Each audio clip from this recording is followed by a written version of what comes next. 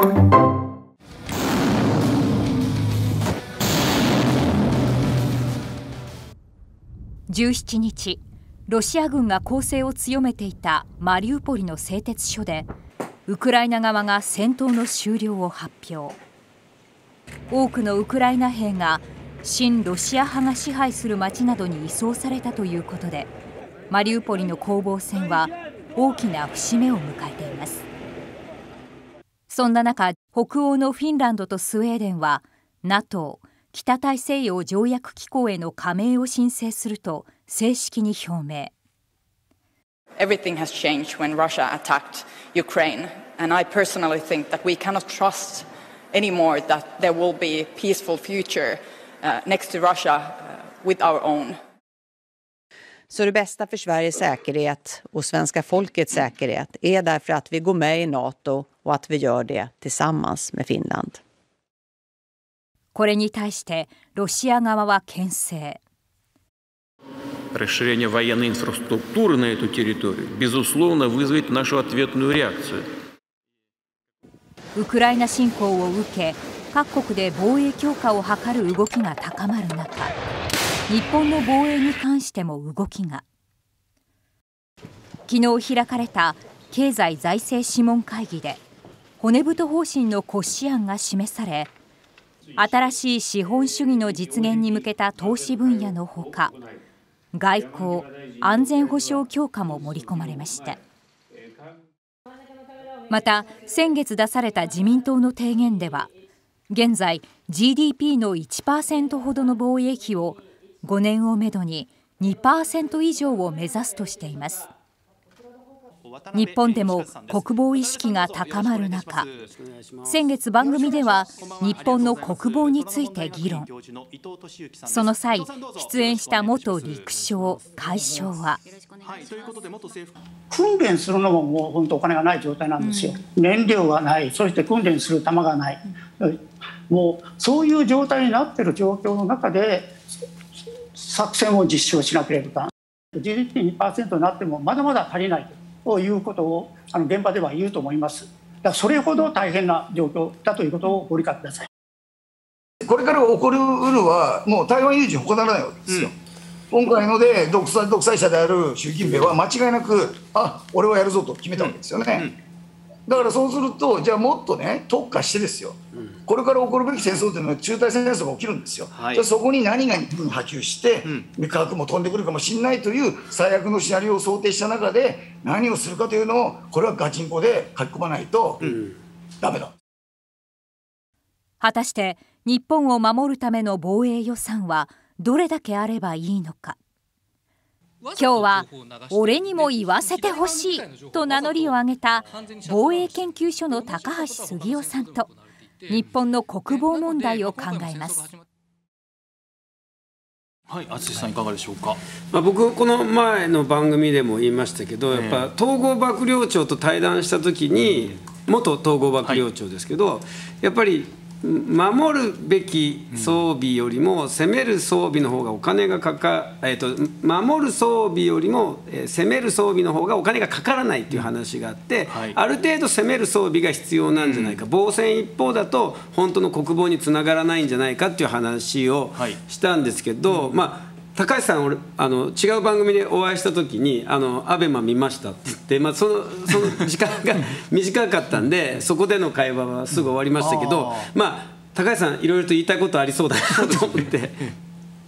今日はでも、はい、話できるのはなんか楽しみにしてます、ね。えー、今のお話は、まあ、あの攻撃力はある意味では抑止力にもなるところもあると思いますから、はい、その辺も含めてですね議論していければと思います、はい、では改めてゲストをご紹介いたします、えー、ウクライナ侵攻の軍事戦略や世界の安保環境を分析されています防衛研究所防衛政策研究室長の高橋杉雄さんです。高橋さんどうぞよろしくお願いいたします。よろしくお願いします。いつもありがとうございます。さて議論を進めていく前にですけれども理路整然とした解説が好評の高橋さんですけれども最近出演されました BS 富士のプライムニュースでジャム作りを予告されていまして その後ツイッターでその様子をもう公開されるということで、まあ、視聴者からもジャムおじさんと親しみが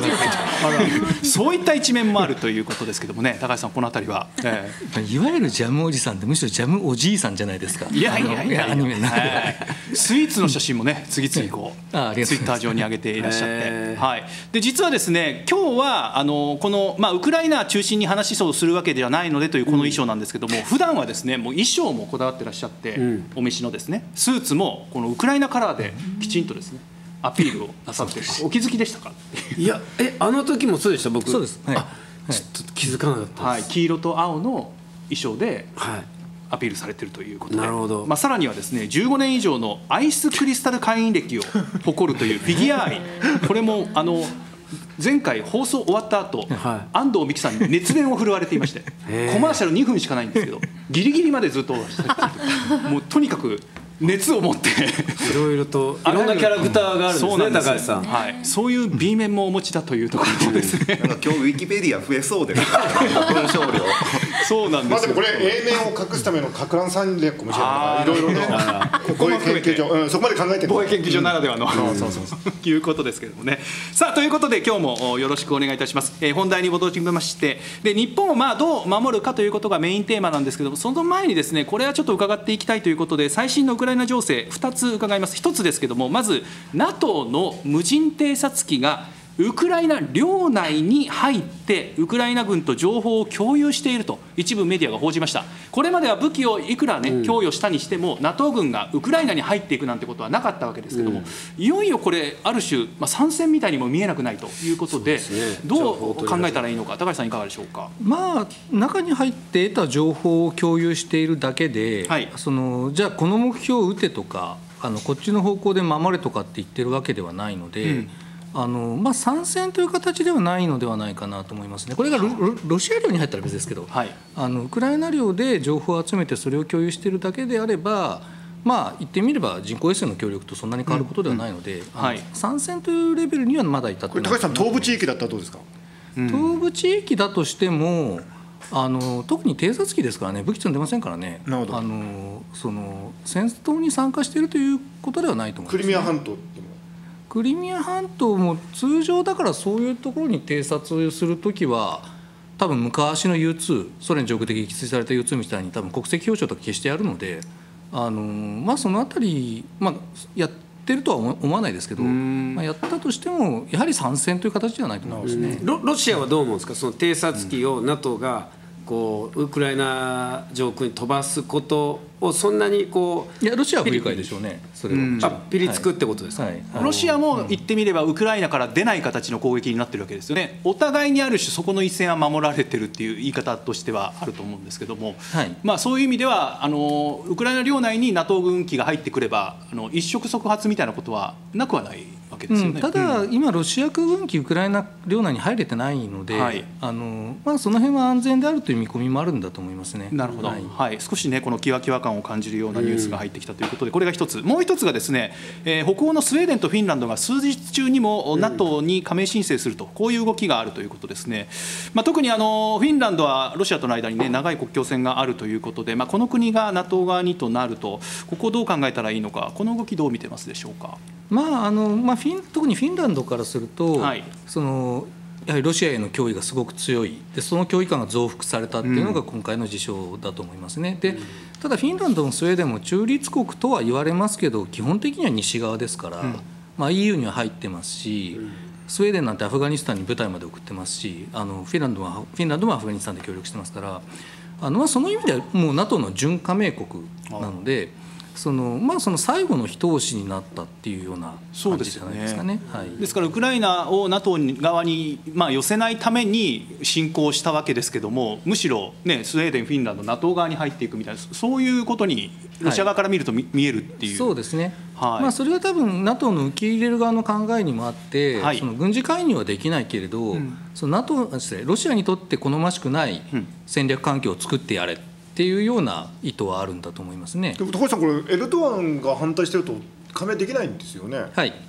であれは反対してるのはどういう意図というか、まあ、基本的には条件闘争なんだと思います。あの例えばそのスウェーデンには結構クルド人の移民がいて、それがそのトルコ領内のクルド人の活動を支援してたりするので、まあ、それをやめてほしいとかですね、あとはまあ場合によってももうちょっと武器くれとか、まあ、そういうこのある種の条件闘争なんだと思います、ね、これあのでも、はい、まあ、トルコが反対して、はい、その加盟までのタイムウィンドウが増えると、はい、その間ロシアが何らかの行動に出る可能性ってないんですか？それは理論的にはあります。なのであのイギリスが特にフィンランドについてはその支援するという協定を結んだりあとはまあ NATO としてもバルト海にその海軍力を増やすみたいな話もしているので、まあ、そこはその手当てをするということだと思いますね。はい、ということでね、まあ、ウクライナ侵攻が長引く中で周辺の国々の安保環境にも変化が生じ始めているというところをまず押さえた上で、えー、日本の話に持っていきたいと思います。はい、まあ、日本どう守るかということで特にですね高橋さんが主張されているのはこの20年で、えー、この環境がガラッと変わったんだとこれにまず気づくべきだということを強く主張されています。まずはですね極東の、まあ、国力シェアといいますか防衛支出のシェアから見ていきたいと思うんですけど高橋さんこれ解説していただけますでしょうか？はい、ああのまあ、日本の防衛費って過去20年間5兆円から5兆5000億円ぐらいの間で推移してるんですけれども、あのまあ、実はその間に日本のその相対的なシェアって下がってるんですよ。でこれ東アジアの4か国というか、まあ、台湾を含めたあのものですけれどもその日本中国韓国台湾を比べてみるとその20年前は日本はまあ約4割ですねで中国よりも多かったんです。あこれはあのソースのミリタリーバランスというイギリスのシンクタンクが出している資料ですけど、はい、でその38%あったものが20年経ってみるとなんと17%半分以下になっていると。うん、でその分中国が増えていて65%あと韓国も増やしていてそうですよね、はい。まあ、韓国には多分ここ数年ぐらいで抜かれるんですけど、はい。あのまあ、そういう意味でその、まあ、日本国内で5兆円5兆5千億円でずっと考えていたうちにその相対的には半分以下になったと、うん、中国との比率はなんと4.1対1ということになってしまっているのであのそれだけ今日本の安全保障環境は厳しくなっている。あるいは別の言い方をすると、まあ、20年前に持っていたような安全安心の感覚というものは今はないし、うん、あの取り戻すのは極めて難しいということだと思いますね、うん、日本の国の中で5兆円、その GDP、GNP1% 枠守ってという形でずっと維持している間に、周辺の国々はどんどんどんどん軍事費上げていって、はい、装備も兵器も。はい、戦力もまあ増してきたとい。うことから目をそらしちゃいけないということですね。で、ね。はい、特にまあ中国について言いますと、そのまあ海洋進出の議論が多いんだけれども、そのミサイル開発、ミサイルの脅威にも目を向けなきゃいけないというのが高橋さんの主張です。例えばその2000発その中長距離の、うん、中距離のミサイルをまあ配備し持っているというところを見てこれをどう受け止めるのかっていうことですね。このあたりご解説いただけますでしょうか？あの中国は特に中距離のミサイルですね。を非常に多数持っていてあの、まあ、台湾とか、まあ、日本あるいはグアムぐらいを狙えるミサイルが、まあ、多分だから2000発のうちの200発がアメリカに届くミサイルで残りの1800ぐらいなんですけどこれがどれぐらいの数かというとちょうど戦争が始まってからロシアがウクライナに向かって撃ったミサイルの数がちょうど今これぐらいかなあの少し前で1500発だったので、あのまあ、それぐらいのミサイルの数ということになります。であとはその単にミサイル持ってるだけじゃなくて命中精度がすごく高いんですよ。あの映像出ますかね？うん、あのほぼピンポイントで当たります。えっと、それこそこの部屋の真ん中狙ったらこのテーブルのどこかに落ちるぐらいに命中精度が高いので。あのそれぐらいもうなんだろう中国のミサイル戦力というのは、うん、あの進歩してしているということですね。でこれが中国ですね。で一方でこの20年ということで言えば北朝鮮も、まあ、ミサイル、うん、それから核兵器の開発ですね。ここも進んできていることから目を背けてはいけませんねと。この点も解説していただけますか、はい。はい、まあ、北朝鮮はまあ20年前はまだ核実験やってなかったですから、うんあのミサイルを撃ち始めたぐらいだったんですけど、まあ、今やおそらく日本に届く核ミサイルは多分すでに持っている。でアメリカに届く核ミサイルを開発している最中である、うん、で、まあ、これは20年前に比べると全然違う状況なわけです。で、まあ、ロシアも、まあ、ここ数年まで前までそんなに危機感は我々なかったですけれども、まあ、実際には隣国に戦争を仕掛け、でかつそのあのこの地域でも積極的に軍事演習を行っている国であるということがあるとまあ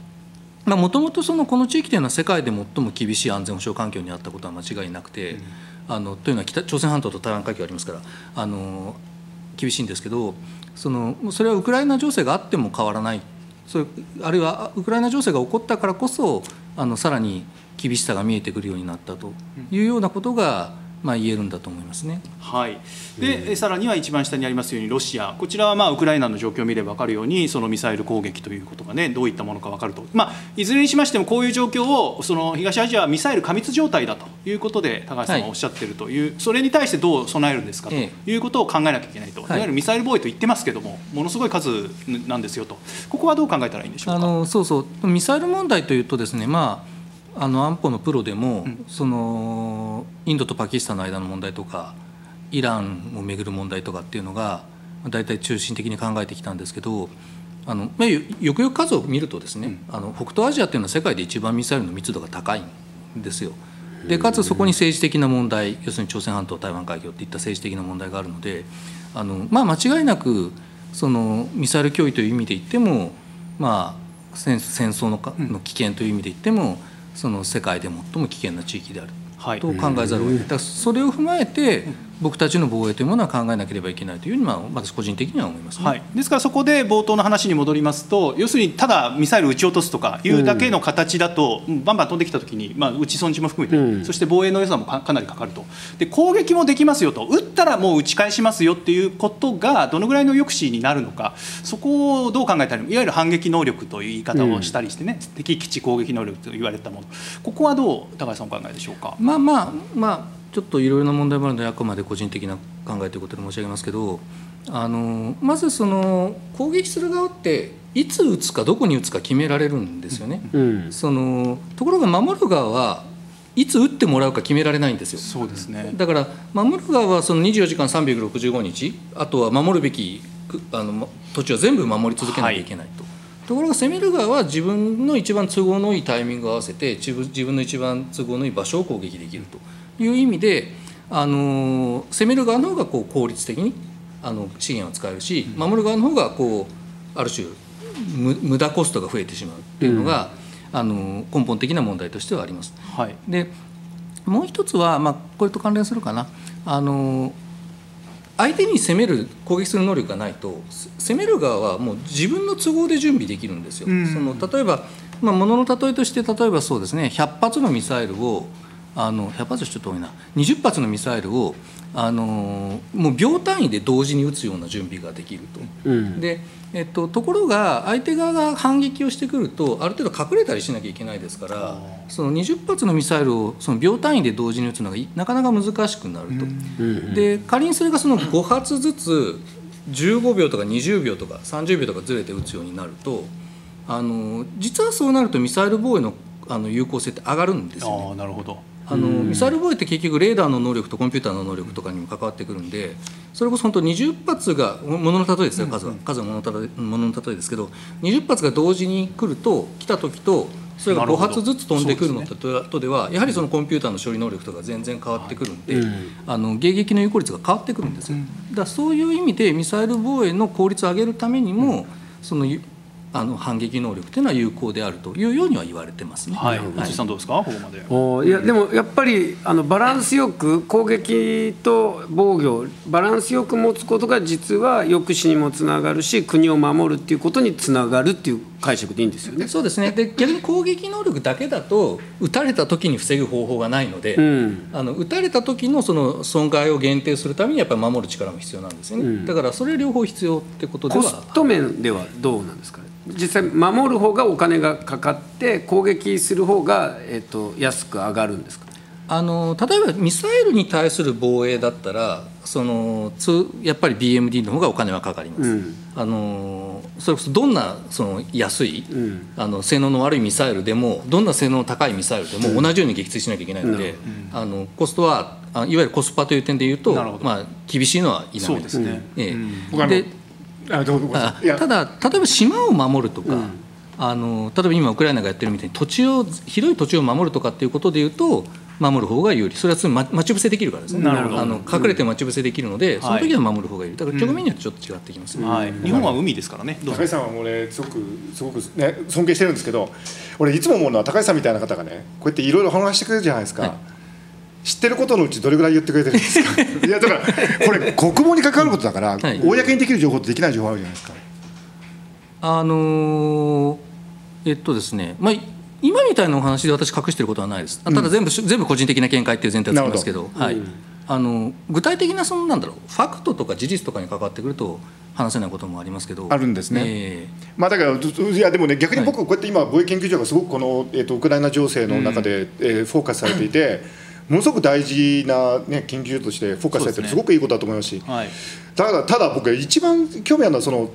みんなに言えないところでどれぐらい高度な議論をしてくれてるのかっていうのはすごく。あの多分世の中の90%以上のことは公開情報で議論できます。なるほど。はい。あの残りの10%が？10%もないかもしれないな。あの、まあ、ないわけではないんですけど、うん、でもそれでもなんだろう何が正しくて何が正しくないかを判断する上では公開情報で十分だと思いますね。おそうですか、えー、ということは政治家も判断できるはず。できる。はい。ただね、意外と難しいのは今何が問題になってるのかを知らない可能性がある。うん、なるほど、えー、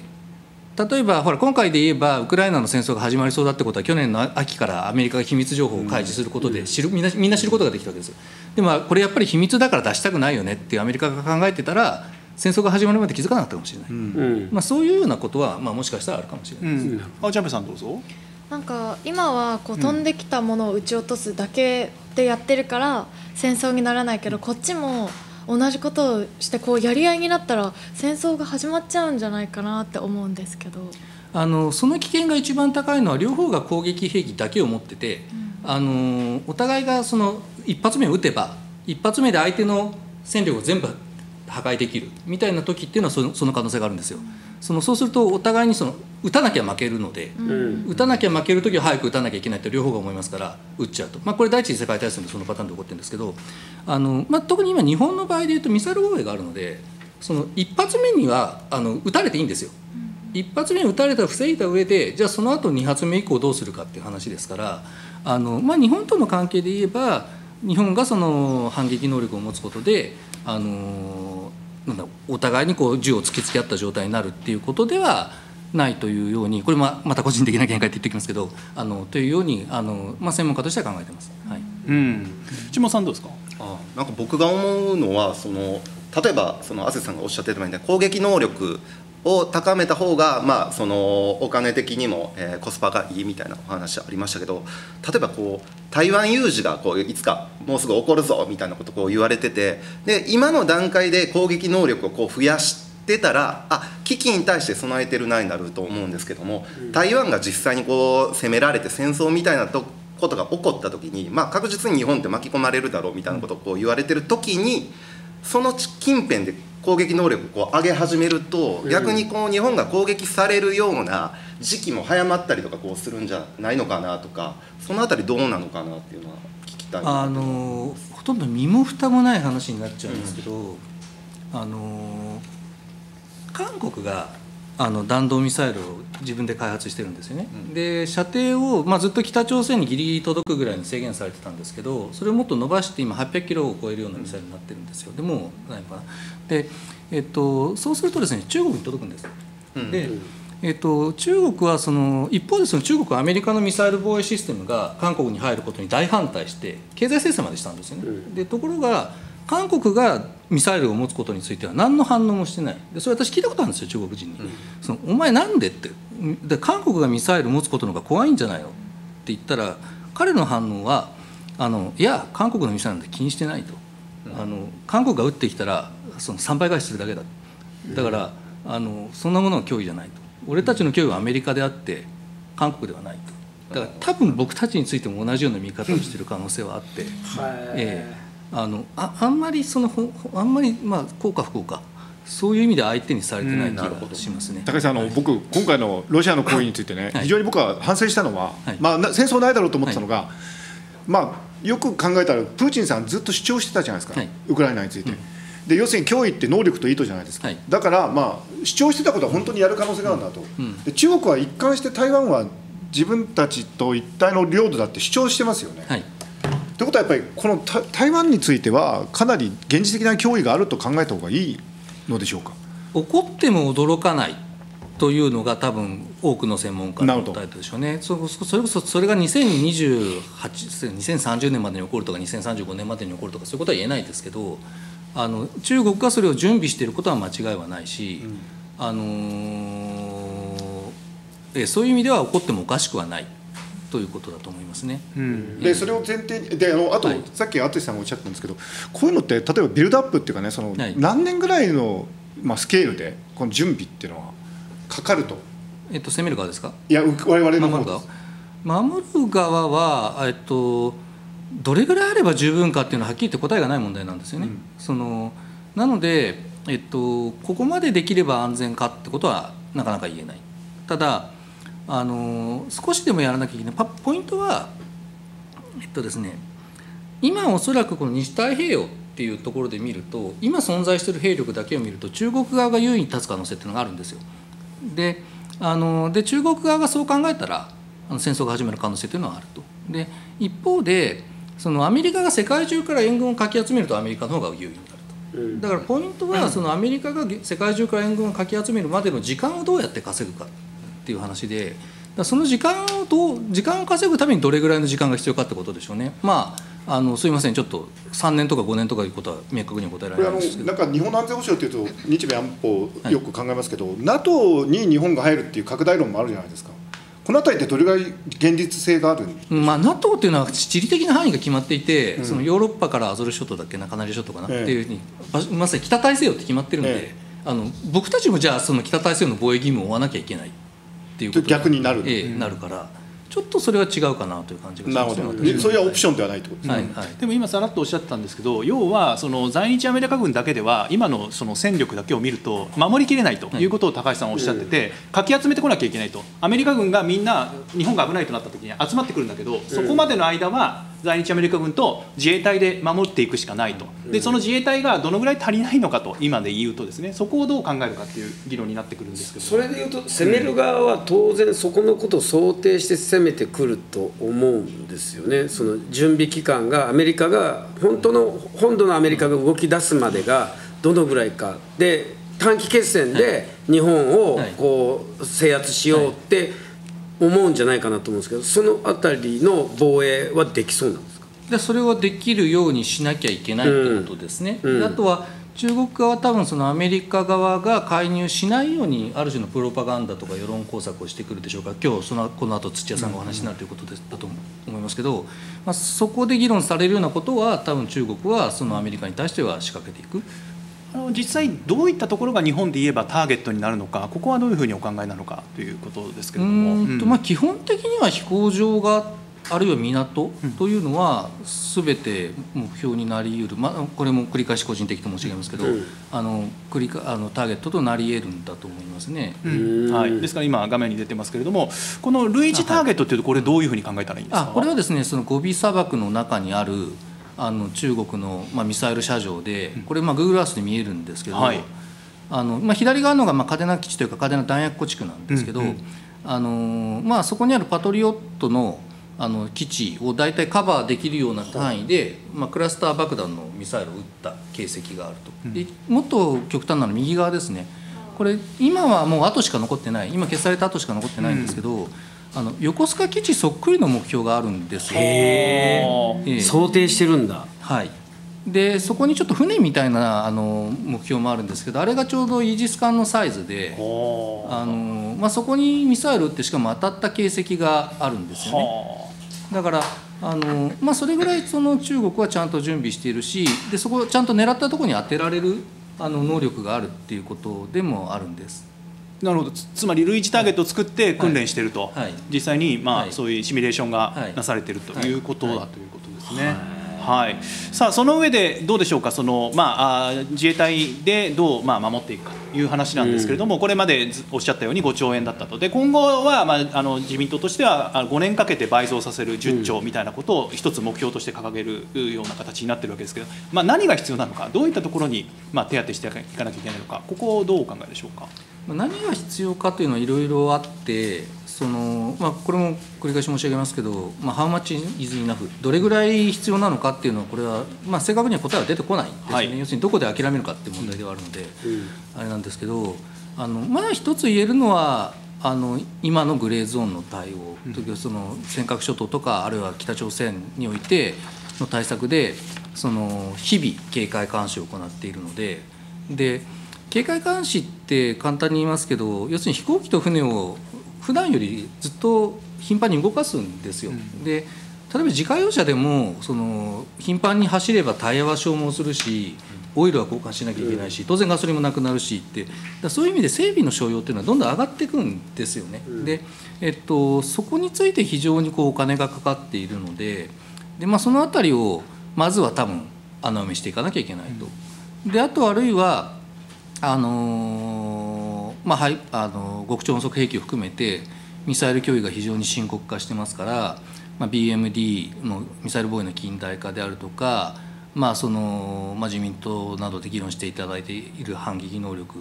の、まあ、是非を含めた議論ですね、うん、といったものなんかもあのもし是ということであればそのそれは費用をかけていく、うん、今弾道ミサイル防衛って1年間に1000億円ぐらい使ってるんですけど、はい、まあ、そのそれぐらいの規模感は多分続いていくのかなと。うん、であとまあやっぱり20年前と安全保障環境変わってるのでその、まあ、フォースストラクチャーその数ですよね。数自体も今のままでいいのかっていうことは、うん、あのやはり議論されなければいけないということではないかなと思いますね。うん、これ基本的にアメリカから買うってことにな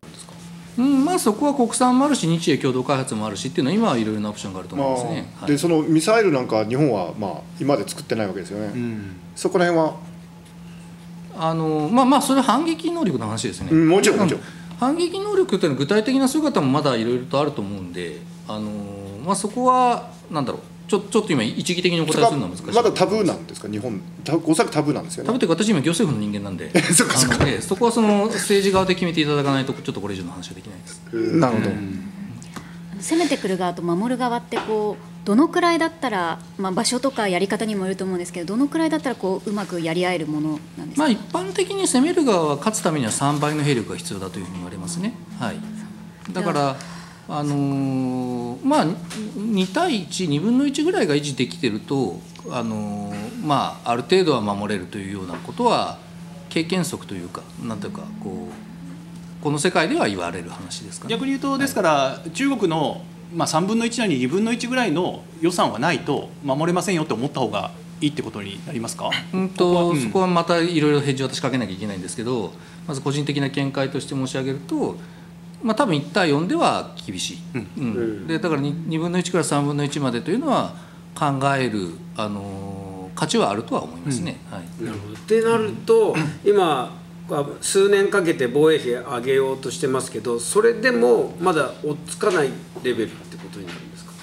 あの中国も伸びてきますからね、はい、あのまあ、そのあたりは、えっと、伸ばし方によるのかなとは思いますが、はい、ですからまあ最初の話に戻すと、はい、GDP1% の枠内ということでやってきたのは非常にある種この20年内向きの議論で、うん、日本としてどうするかだけど、うん、まあ、周辺の環境に合わせた形の、まあ、ある程度の増強はやっぱり必要になるというここは最後いかがですか？でただ結局国としてはいろんなこと考えなきゃいけないんですよ、はい、財政リスクもそうだし、うん、あの社会保障もそうだしあの公共インフラもそうだし地方振興もそうだからこういったいろんなリスクをあるいは効果をテーブルの上に全部並べてでどこまでその防衛に、はい、あのかけるんですかと、まあ、そういうことをちゃんと全部並べた上で議論する必要があるのかなと私は思いますね。うん、それはその国会とか政府政治の責任だと思いますが。アベマプライム進行の平石直之です。ご視聴ありがとうございます。これを機にチャンネル登録よろしくお願いします。